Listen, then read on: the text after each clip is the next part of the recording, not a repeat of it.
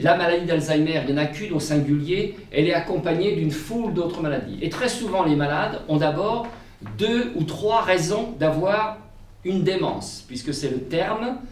Alors c'est un terme qui fait peur, le, nom... En France, 850 000 personnes sont diagnostiquées atteintes par la maladie d'Alzheimer, dont 225 000 nouveaux cas chaque année.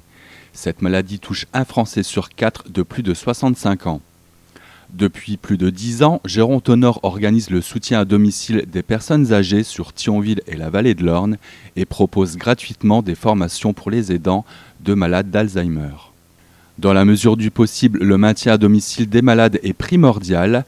Ils sont souvent aidés par un proche ou un membre de la famille, une lourde tâche qui peut être aidée notamment par le biais de ces formations. C'est une maladie un peu, euh, euh, comment dirais-je, euh, pénible qui est cachée, qui, on a tendance, les familles ont tendance à se replier sur elles-mêmes.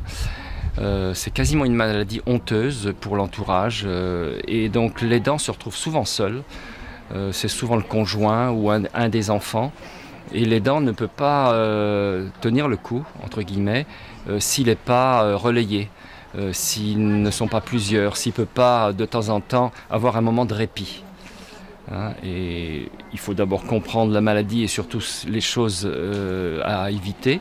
Et d'autre part, euh, essayer de donner des conseils justement de moments de répit euh, pour ces familles-là. Et malheureusement, on manque de structures d'accueil de, jour, de répit dans notre zone géographique. On a des besoins et les informations qu'on peut avoir pour pouvoir aider la personne malade sont toujours euh, les bienvenus parce que on ne sait pas comment s'y prendre avec euh, la personne.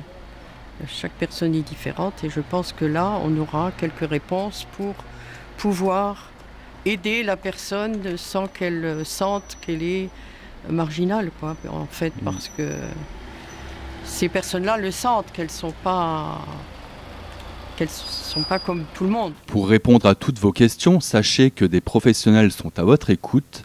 À la FAD de Romba, 32C rue du Petit Moulin, au 03 87 51 81 82.